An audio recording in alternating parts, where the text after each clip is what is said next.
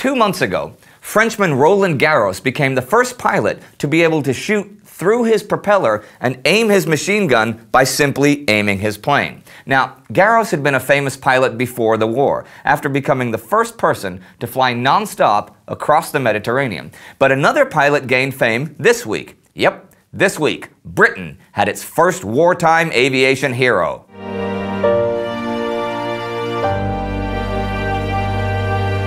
I'm Indy Neidell. Welcome to the Great War.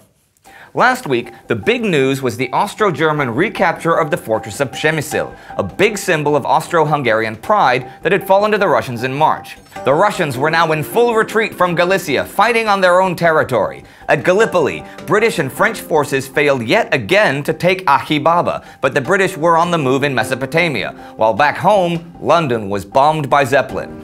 That was the first successful Zeppelin bombing raid on London of the war, though it wouldn't be the last. But this week, there was Zeppelin action on the mainland. On June 6th, three Zeppelins took off from Belgium for another raid on Britain. One had technical difficulties and had to land soon after takeoff.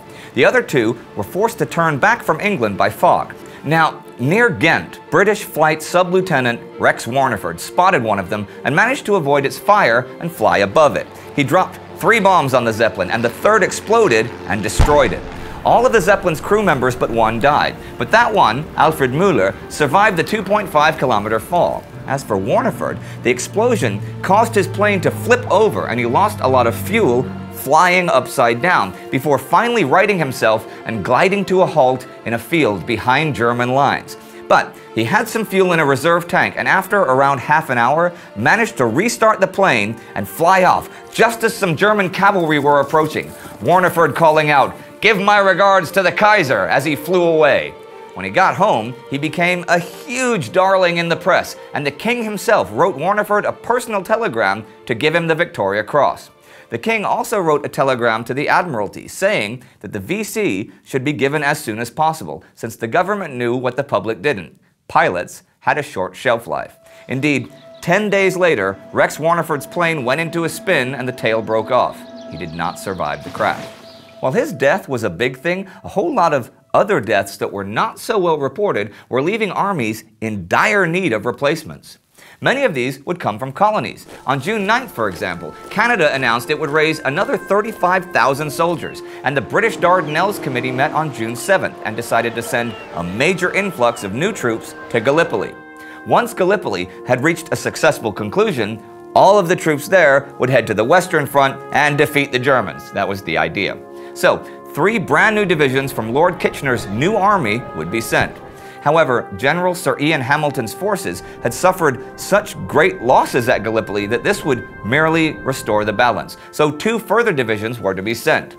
There was no real discussion on the lack of proper training and leadership of these divisions, nor mention of the crippling lack of artillery shells. Still just blind optimism.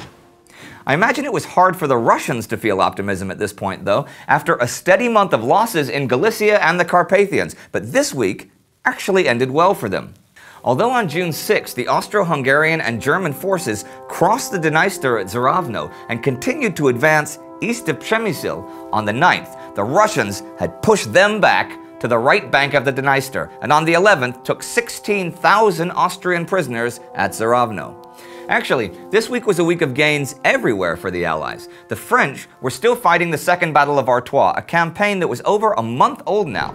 This week, the French advanced in the Labyrinth, which was a network of over five square kilometers of trenches, dugouts, and tunnels south of Neuville-Saint-Vaast on both sides of the Arras-Lens Road. Now, the Labyrinth really was a maze, with blank walls and points where defenders could even appear behind attackers. Further south, near Hebuterne, the French also advanced a kilometer along a two kilometer front. Now, the French and British attacks of the last month had caused the Germans to break off their own offensive, the Second Battle of Ypres, which was the only German offensive on the Western Front so far this year, actually. This was a bigger deal than it might seem on the surface of things. See, Ypres was the last corner of Belgium that had not fallen to the Germans. The French border was like 15 kilometers to the south. The French port of Dunkirk was 30 kilometers west. Dunkirk was a half hour's drive from Calais, and Calais was within sight of Dover in England itself. If Ypres fell, then it was fairly good odds the Germans could occupy these places in weeks, but also it would mean the fall of Belgium, and Britain had gone to war in the first place to save Belgium.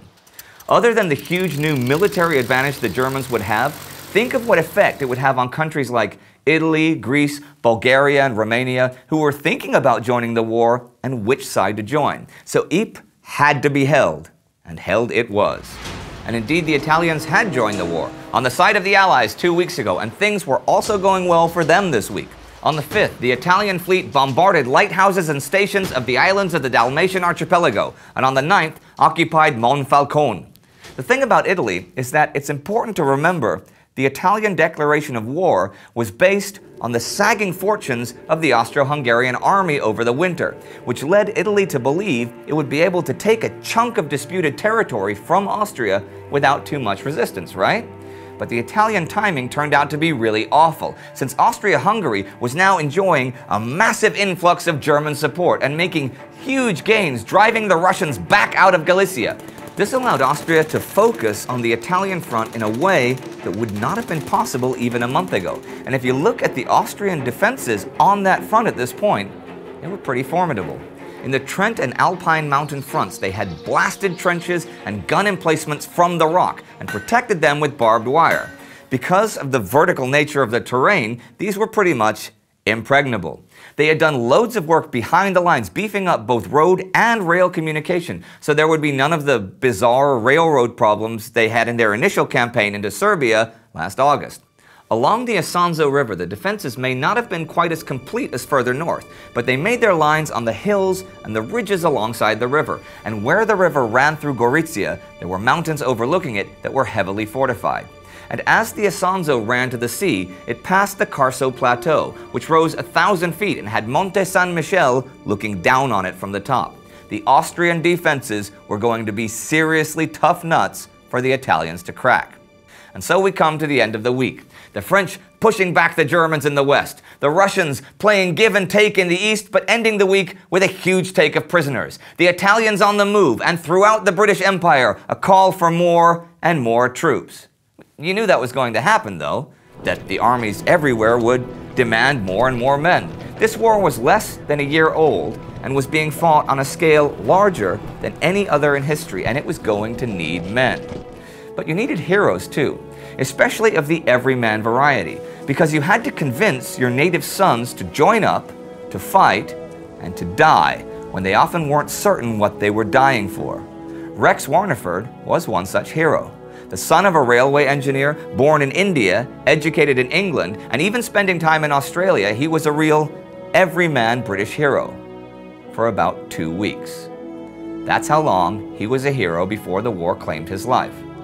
Thousands of mourners attended his funeral on June 21, 1915, and after all of the hundreds of thousands of nameless dead soldiers in every nation, at least for a day, one of them was called hero by name. But as you well know, his death didn't change anything other than convincing more men to go and join the slaughter.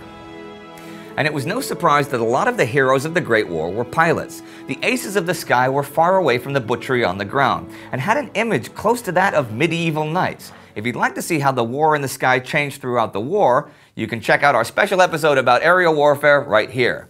Our Patreon supporter of the week is Jonathan Childers. If you want to see us outside the studio in real World War I locations, help us reach our goal on Patreon. Don't forget to subscribe. See you next time.